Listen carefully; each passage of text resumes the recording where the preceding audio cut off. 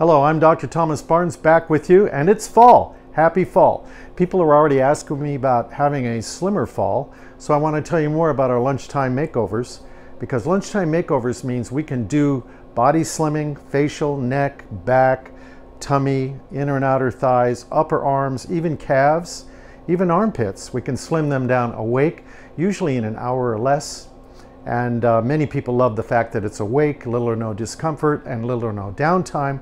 So this fall, you can work or maintain your other activities without taking much time off. So we want to tell you more about our fall special, so give us a call.